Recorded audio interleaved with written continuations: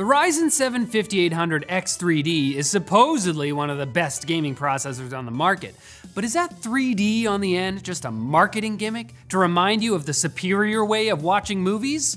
Or is there actual truth to it? That was a joke, 3D movies suck. But this 3D does not. The 3D actually refers to a feature that AMD calls 3D V-cache, with V standing for vertical, and 3D implying that the cache actually is stacked on the CPU die to make it, you know, three-dimensional. So it's not false advertising, even if technically you could label every processor 3D since our universe does in fact have three dimensions, but let's not get pedantic. Okay, so 3D V-cache is CPU cache stacked vertically. But what is CPU cache? Well, it's basically just a small amount of very fast memory, like way faster than your system RAM, that sits on the CPU itself. Modern CPUs move information that is likely to be needed soon into the cache, so by the time they actually need that information, it's sitting right there for them to go ahead and act upon, instead of having to wait for it to arrive from system RAM. So it's not hard to figure out that having more cache equals better, but slapping more onto a chip is actually fairly difficult.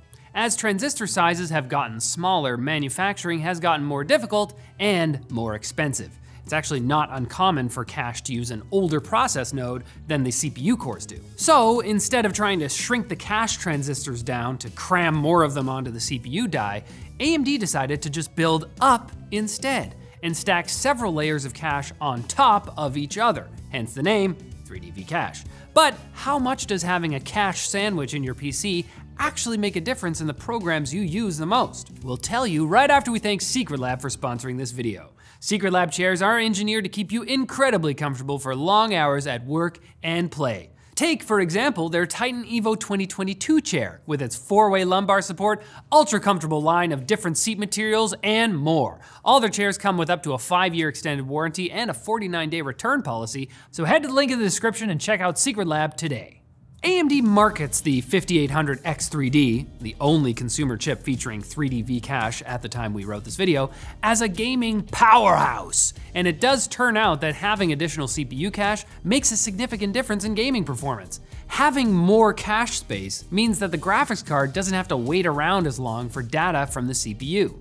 Without that additional cache, your CPU needs to go back and grab data from your RAM more often, which takes time and leaves your CPU frustrated and exhausted, wondering why its creators didn't give it more cache when they dumped it into this cruel world. Indeed, benchmarks have consistently shown performance benefits across the board compared to both AMD and Intel chips that don't utilize vertical cache.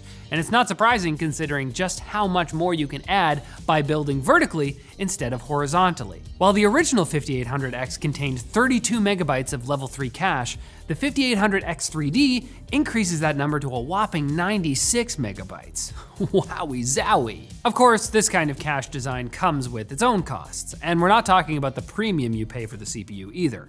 Vertical cache does require extra power and it generates more heat, and although AMD has done a pretty good job mitigating these issues, partly by packing the cache layers as close together as possible, the 5800X3D does not officially support multiplier overclocking as the cache and the CPU cores actually share voltage, so you can't change one without affecting the other. This also means boost clocks are lower than chips with more traditional cache. So while gaming performance is often better depending on exactly which game it is you're playing, other chips with more cores and higher clock speeds are still superior for other tasks. But if you do mostly use your PC for gaming, there's exciting news in that more chips using 3D V-Cache are on their way as additions to the Ryzen 7000 series. And over in server land, there are AMD EPYC chips featuring the technology, since server CPUs have to move so much data that a bigger cache can be beneficial.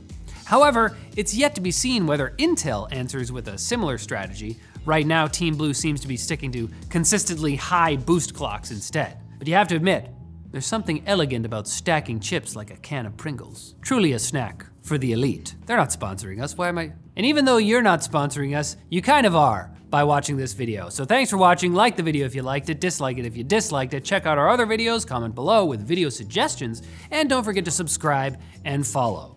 All of these things make us love you more.